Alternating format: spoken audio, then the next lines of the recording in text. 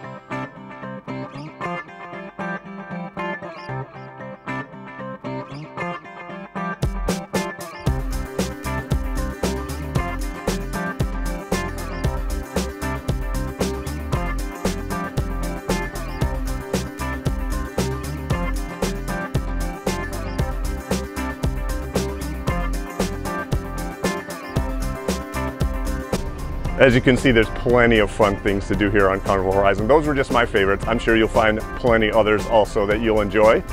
Uh, for now, I'm gonna hit that sky ride one more time and I'll see you next time. Thanks for watching.